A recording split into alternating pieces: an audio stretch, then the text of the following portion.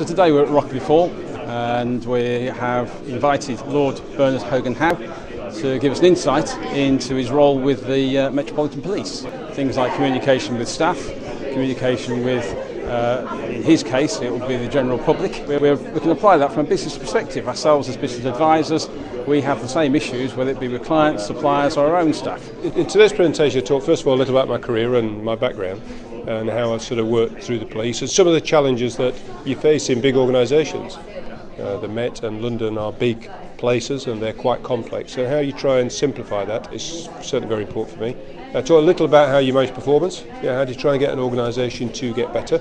Uh, and really emphasise an awful lot about how important it is to communicate. What came across more than anything to me was his ability to communicate. It was informative and it was a broad spectrum of subject but quite serious but also peppered with humour and I felt that was a really good idea to have that sort of speaker for our first meeting.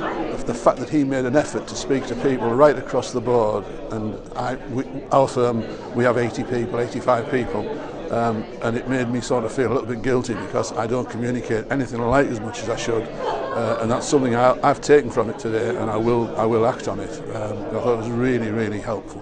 Well, I hope that people will take away that even in big organisations, people can keep in touch. I think without that personal touch, then you can lose trust. Those people up there, they don't understand our problems. Uh, we've got this new idea and nobody ever listens. So I think it, I hope that people have taken that away.